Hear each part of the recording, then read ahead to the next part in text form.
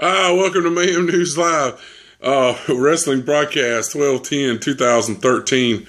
Uh, this is actually take two. Uh, um, well, actually take three if you want to count. Uh, I turned on the camera and started talking, and I was like, man, that camera is mighty, mighty dark. What the? And I realized I forgot to flip the camera around where it would see the front. Okay. Oh, well, there goes it. Okay.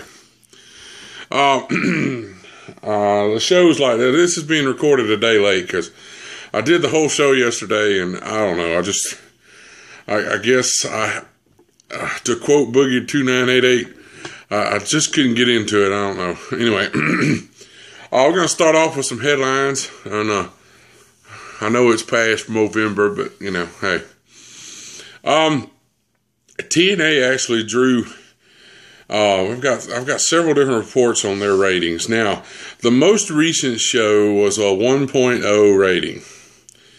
All right, the show before that, the one that everybody's talking about, was 0.7. uh, the show that that looked seriously like they had put all these ideas in a bowl and just pulled them out. It looked awful. Anyway, and then the show before the the really bad Thanksgiving show uh, was a 0.95. So the ratings did go up. so, um, but you know they are they're continuing to have problems with their ratings, and probably will continue to do so until they decide to change something or you know something changes. You know I don't know. Um, but Mickie James uh, just celebrated her 15 years uh, in pro wrestling. I want to congratulate her, and um, we were actually planning on doing an interview with her, but um, this came about the time of her record release and you know all this the touring and stuff that she was doing. So I never heard anything. Uh, one of our co-hosts uh, uh, he never was on the Google, the ones we did on Google, but from Blog Talk Radio, uh, Big Dog, Big Thor Dog actually uh, got her to do a um, um, a design for his online. He does online racing, and uh, if you've never heard of it, uh, it's pretty. It's actually pretty popular. Um, they race in simulators. Um, you know, it's pretty much it's NASCAR without the having to spend, you know, millions of dollars to build a car. Um, the gra- the graphics are, I mean, some of these computers, it really looks like you know you're in a car. If you had a body of a car to sit in, you'd really think. Um, but the uh, the way the car handles and everything is similar. So, but he did a uh, Mickie James race car, and we're hoping maybe that we can do something, you know, her later. But uh, um, there's a lot of talk and been a lot of uh, reports on uh, Stephanie McMahon, uh, uh, a lady by the name of Michelle D. Williams, and George Barrios uh, will lead and promote the strategic growth initiatives for WWE. some of those that were mentioned were renegotiation of their four major uh, TV rights contracts. Um, they're hoping to have that done sometime in 2014. And the one that all the fans want to hear about is uh, some of the things that are happening in the background kind of make you wonder if maybe the WWE network may be fixing to. Uh, but um, um, let's see. They've in 2014, in February of 2014, they're going to cancel uh, classics on demand. You won't be able to get that anymore. Um, most people are heralding that this is going to be uh, that when they get rid of classics, that means the network's going to come out. Which, you know, we know they're still working on it. They they implicably, you know, can't tell us when or where, or, you know. but a lot of people are pointing at the fact that WWE uh, has planned an event at the International CES Consumer and Electronics Trade Show that's taking place uh, in February of 2014. Also, and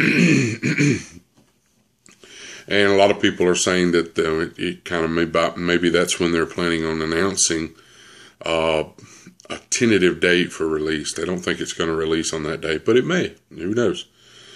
Um, since we're talking about the network, uh, there are a lot of people saying that um, it may not come through your cable company. Um, there, WWE itself has actually said that they are they are weighing all options. Uh, one of those options is a total digital network.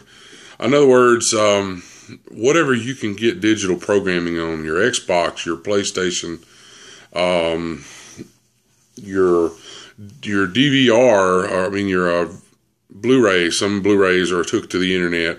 Your smart TV, whatever you can get digital programming. That the WWE Network might be a literal digital broadcasting. I mean, it'll be everywhere. You know, uh, this would uh, relinquish them from some of the constraints of actually doing it on a, on a network. Uh, they could do pretty much what they wanted because it's digital. Um, so we'll just have to see. I can't wait because if if they do what they say, they're gonna they they they've hinted about about the pay per views that they, there may be up just to four major pay per views uh, that you may have to buy, but then there's other people saying that you won't have to pay for nothing but WrestleMania because the price that you pay for your your your subscription to the WWE Network will cover all the rest. So we'll just have to see. Um, let's see. Uh, Jim Norton, who is uh, one of the hosts of the Opie and Anthony show, oh man, he ripped. I listened to some of that show. He ripped into TNA. Um, you would have thought he was a paper shredder. It was just. He talked about the Ethan Carter 3 series, and um, I got some issues about that too, because all he is is a Ryback without the one piece. I mean, seriously. And the fact that they're pushing him as Dixie Carter's nephew makes just makes my mouth. Ugh.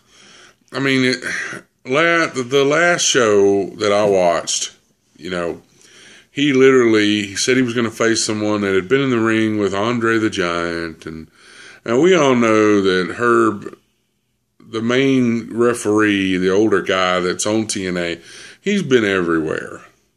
He's been with WWE, he's been with TNA. I mean, the man has literally done everything. He actually, this Ethan guy actually had a match with him, made him lay down, and had his son count him. I mean, yes, it was a it was a bathroom break because it was pretty much detestable but it's it's stupid.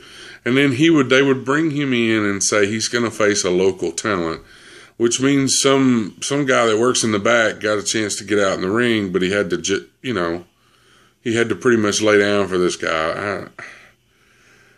I, this is what they call TNA trash character development. It is useless. It's worthless and we hate it. Thank God they actually kind of moved on away from that. Now I know with Ryback, there were some issues that he was a little stiff. Um, he hit, he hit a little stiff, but you know, people got past that. The bigger talents didn't really want to work with him because they're afraid they were going to get hurt. Um, Ryback's a big guy, you know. Uh, but anyway, I, I, just think it's. But he ripped into them really bad. He talked about uh, a lot of the wrestlers' problems. Now, the only thing he did leave out is the fact that Jeff Hardy went through rehab, and Jeff Hardy has been on the the the narrow road. Um, I'm actually proud of Jeff Hardy being able to overcome or at least control his demons. He's actually doing better than his brother did. So, you know, hey, all power to him. And Kurt Angle admitted that he was he was out of line. He was, you know, he needed to do this, and you know, and I think maybe that Kurt Angle being a little older, you know, and seeing the errors of his ways, we hope. But now he was on, you know, they talked about Sting and, you know, basically said that Sting was, you know, with Hogan gone, their only really major talent. I mean, there's there's like five to six guys in TNA that I think could do well anywhere. Sting, Bobby Roode, Magnus, Samoa Joe, AJ. and AJ Styles. Now, the reason why I don't mention some other people in there is because Christopher Daniels has already been other places. We know he can be be successful. And of course, you know, I only wanted to list five because I'm not going to sit here and list the whole thing. But you know, you've got honorable mentions that didn't make that five: Kazarian, um, James Storm, Gunner. You know, if you could do a top ten, you could actually fill that up pretty fast. Anyway, but it's just a fact that they are they're where they're at, and Dixie Carter uh, applicably denies that they're up for sale. Uh, well, I'm telling you, Dixie, do us a favor. Sell it to somebody that knows what the hell they're doing, or at least has the passion and to know about the, even if they're not in the business, if they have the passion enough, you can learn the business. I mean, seriously, you, you've already done the right thing. You've gotten rid of Bischoff. And, you know, my, everybody knows how I feel about Hogan. But if Hogan's going to be on TV, he needs to be in WWE. Hogan is too big for TNA. Okay? Now, people say, well, Sting's there. Yeah, but Sting started out, you know, in the small little little little little companies like that and worked his way up. He's been everywhere. Hogan, you know, just he, he needs to be in WWE if he's going to be anywhere, uh, we prefer him at the house on the couch. But at least that's my opinion now. But you know, it's just this crap. That I mean, you know. But anyway, he tore into him. He tore into TNA really, really bad. And they they showed where Jeff Hardy came out during the pay per view, and you know he was apparently on some things, and this was right before his rehab the last time. And you could see the look on Sting's face. He was pretty frustrated. He was pretty just because you know this is a main event, and they literally had to drag this out so the fans didn't tear that place apart. It was just ridiculous. Um, let's see. Uh, we're going to move on. Uh, we're going to talk about TNA. There's this weird promo that played about you know AJ not being here. It's kind of futuristic. Uh, uh, it was actually a great, great, great promotional video. It's just um, didn't really make any sense. anyway, um, Angle got a good reaction from the crowd, but it actually could have been better. Uh, the heat between him and Magnus, you know, and a lot of the former uh, mafia members are actually starting to build up. Um, you know, there for a while they were trying to, you know, even though the mafia had pretty much gone separate ways, they were trying to say, well, you know, they're still friends, they're still friends, you know. Well, after the the hardcore match, the the match between um, Magnus and Samoa Joe, there could be no uh, kidding around that, that basically, you know, they were still friends because Samoa Joe just, you know, he I think Magnus ended up winning, but um, Samoa Joe got his licks in really good. Uh, we're gonna. Uh, they had a tables match for the uh, uh heavyweight championship tournament. Um, Hardy uh, defeats uh, Roode. it's kind of a Daniel Bryan. I mean, the Big Show Daniel Bryan thing. Hardy kind of does a drop kick and makes Roode fall off the mat. the mat, and actually he lands in a table, which causes the the loss. And um, needless to say, he was pretty pissed off about it. Um, Dixie Carter comes on and she basically says that she contacted, uh, as you know, AJ Styles is supposedly left with a belt. A straight out of WWE, CM Punk leaves the WWE with a belt. I mean, straight out. I mean, almost identical storyline. And apparently, she had sent him a thing saying if he didn't bring the belt back, you know. And then she got this package that the delivery guy was here and oh, she was so excited, and this rock star Spud, we'll talk about him in a minute.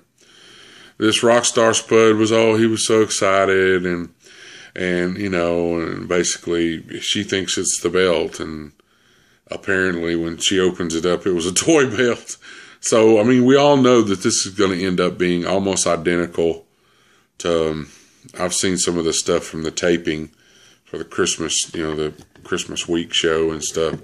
We all know that AJ's going to come back, and then they're going to have to have a champ, champion versus champion. Anyway, I actually know who who wins the tournament, but I'm not going to say it because that would be wrong. Anyway, um, uh, but basically, what I was saying a while ago, the Carter guy is a joke.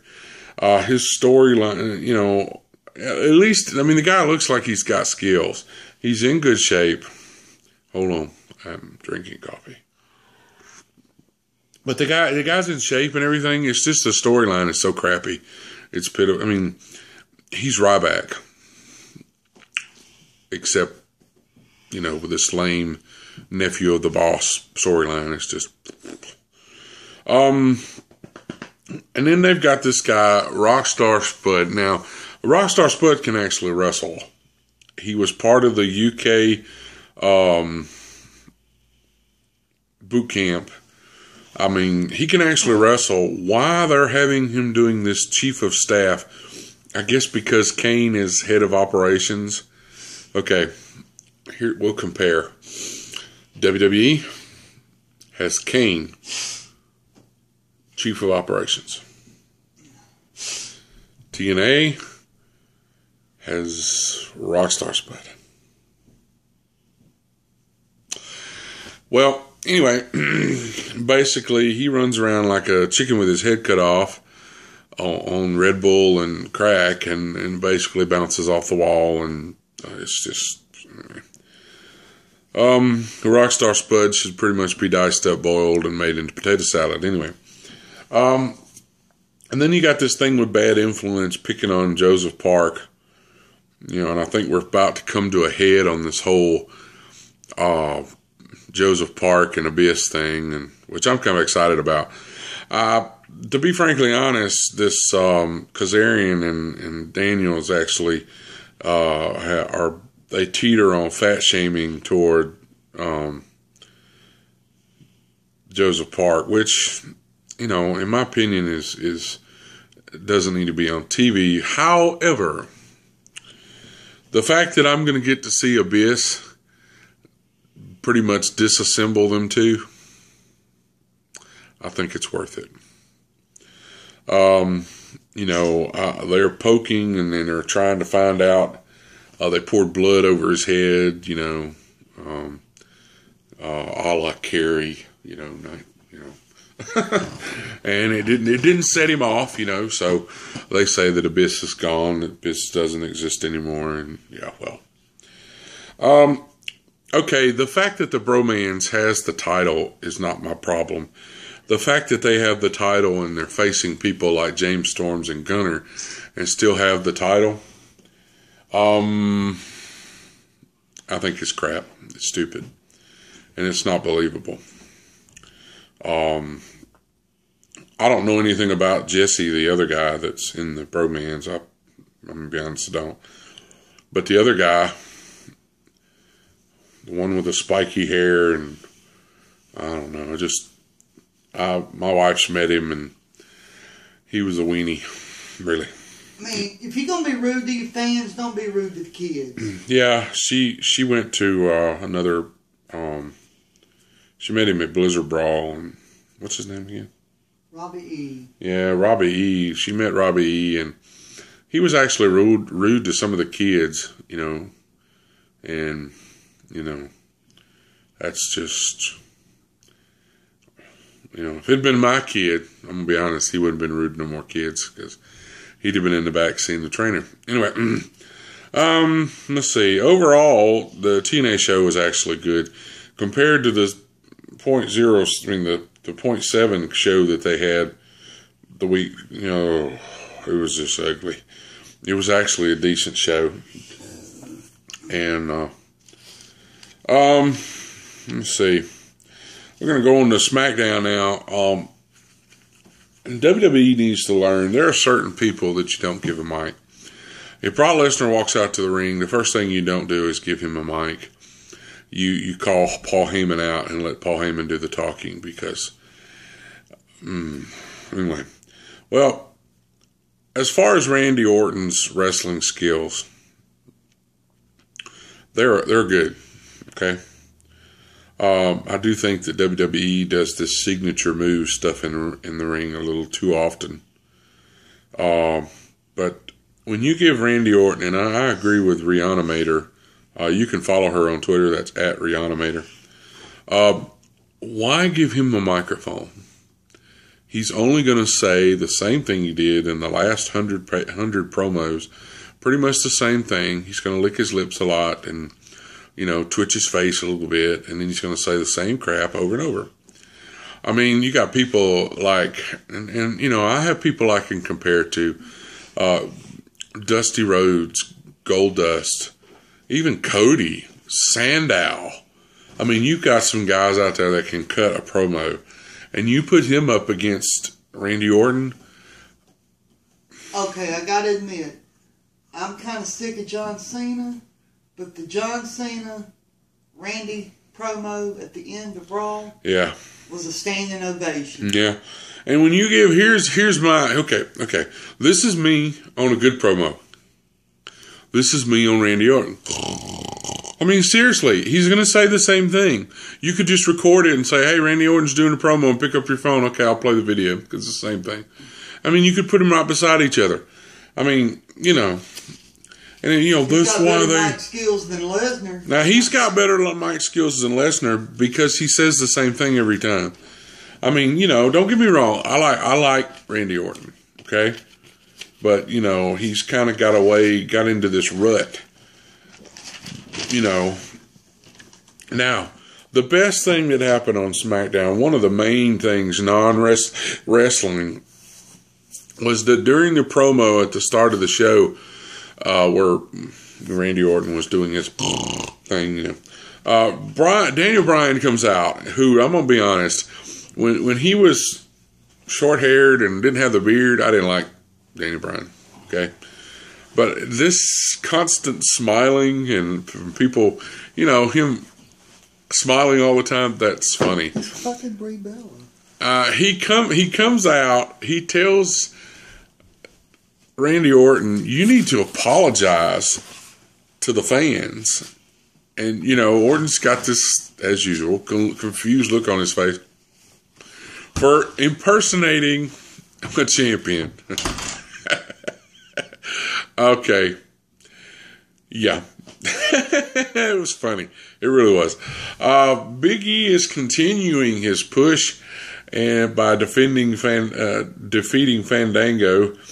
Uh, no big surprise there. I mean, I, I got to where I like Fandango a little bit, especially after seeing him on the Total Diva show and realizing that he takes this character, you know, very, very seriously.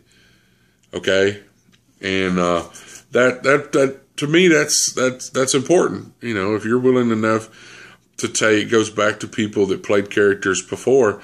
You know, the people that that made people famous just by doing their character right. Um, but uh, okay, um,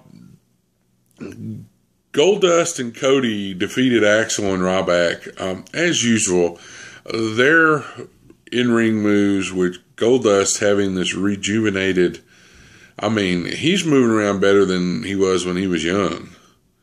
Um, this his change in his lifestyle as far as his exercise routine and his the DDP yoga and you know he is doing things i mean he's doing a a flying body press back and doing a rolling flying body press off the top rope. And uh, the fans are like wow. I mean it's it's really good. It's good to see them on tv it's good for them to get a slammy. I mean it's really good. I, I think it's great you know and um, i think that uh, it's probably one of the best things WWE has done in the last, you know, six months. Seriously. Um, but I have to tell you, uh, that uh, I just can't wait to see what happens between, you know, with them and the tag champions, and you know, Um, CM Punk defeats Ambrose. Uh, it seems to me that the Shield's armor, as far as their relationship with between each other, are starting to kind of conflict.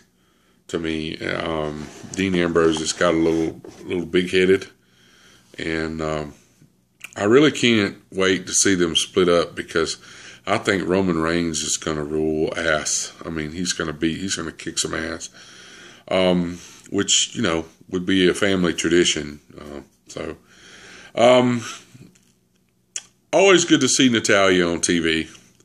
Uh, but when you team her up with with a uh, somebody that's been in the business and around the business like Tamina, it just makes the match better.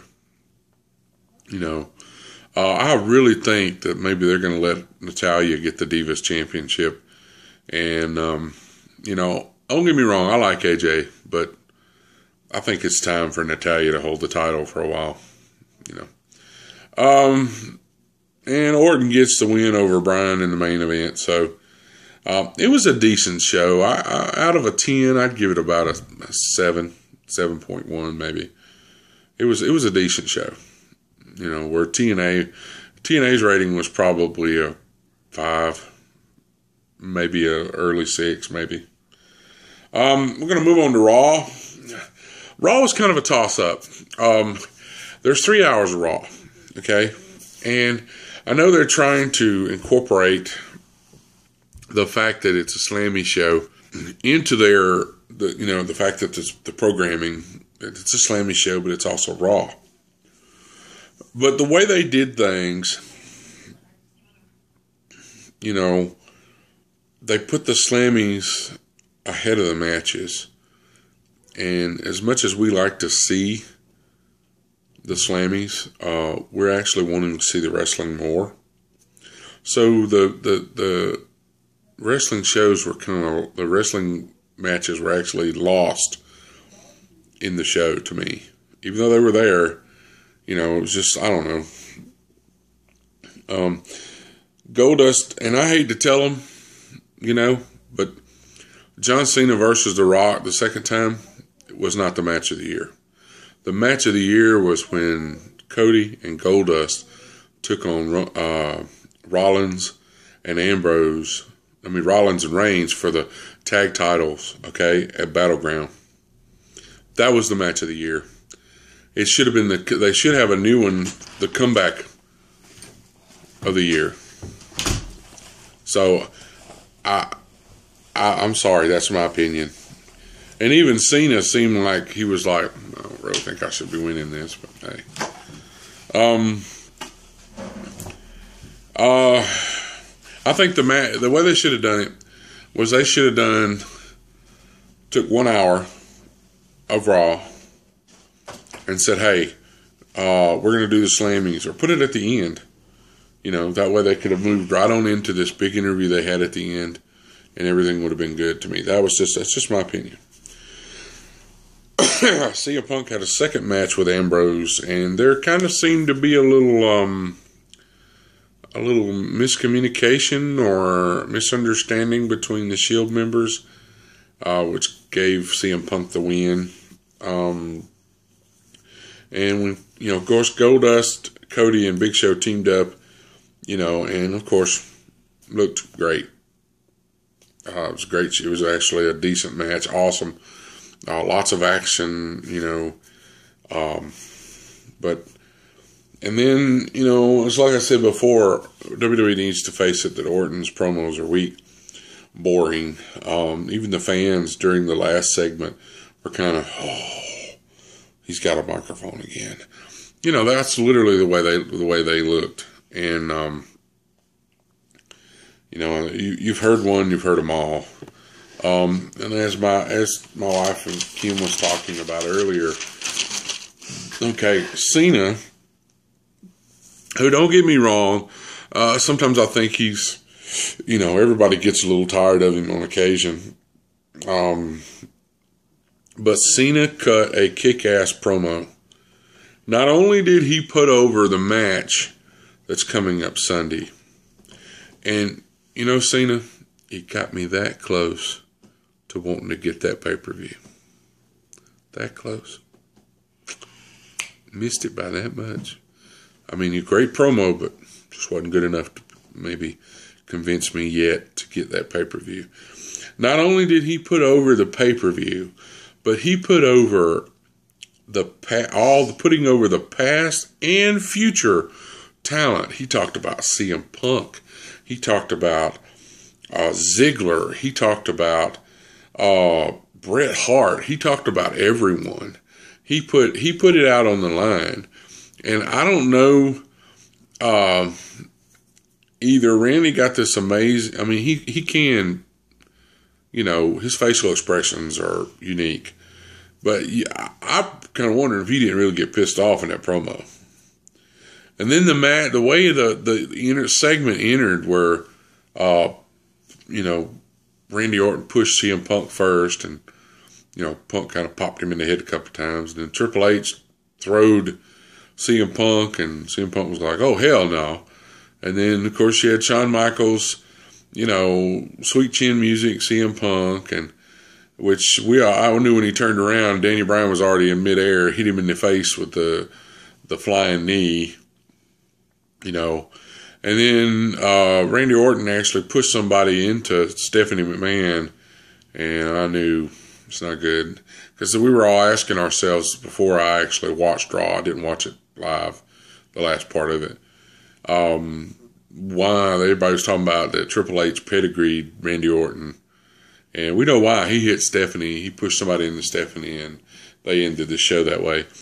But uh, they still haven't convinced me to get the pay per view. Um, so, but that's been that's pretty much the show notes for today. Uh, for this take three, um, I just couldn't get into it last night. I'm sorry. Um, but uh, I want to talk about our sponsors. Make sure you check out ZachPackPromotions.com. Uh, you can follow them on Twitter at, at ZachPackPromotions.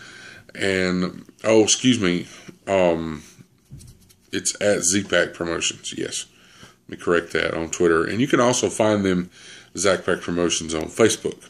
And if you give them a like, make sure you let them know that we sent you. Um, I also want to talk about our next sponsor, which is um, fightdisabilityslurs.wordpress.com. This is a site that my wife runs and I help her with. We're trying to stop all all slurs, period, but in trying to educate people how slurs hurt people. But we're we're really our heart's really on the disability slurs because our son has Down syndrome. Um, and to me, uh, you know, it, that it just bothers me when somebody says certain words or certain jokes, and you know, sorry, I have a knee jerk reaction with that. But um, and our last one, the song that you heard at the first of the show, um, was uh, Throttle. It's a song called New Blood by Throttle, and they helped us sponsor that song, give us that song for our uh, theme song, and I really appreciate it. They've got some great music if you're into heavy heavy metal or you know heavy. I mean, it's it's pretty heavy, but it's it's damn good music. Um, it's something that you could work out to really. Um, but uh, they have a new album called Razor Wire Finish Line. Uh, right now, when I talked to to Mike Filler, uh, he told me that they're right now all they were doing was uh, putting it on Amazon. They're putting it on iTunes, and then uh, they have some. They actually have some CDs but they're using them in, in their their gigs. You know, when they go out and do do song, do shows, they give they sell them at the gigs. So um, I can understand that it's expensive to produce CDs. Uh, so you know, especially on a mass production scale, like most people would think you had to do. But I want to thank Throttle for giving me that. Uh, you can also follow them on Facebook. Uh, at the end of this show, I have I put up some some uh, ad banners for my sponsors, um, and their websites and stuff are on there, and all the links to Amazon and iTunes and stuff like that. All right, I want to give a shout out to some friends from Ireland, uh, the Blast 52 band. Um, their main Twitter is at Blast 52, and then you can follow Stephanie on her.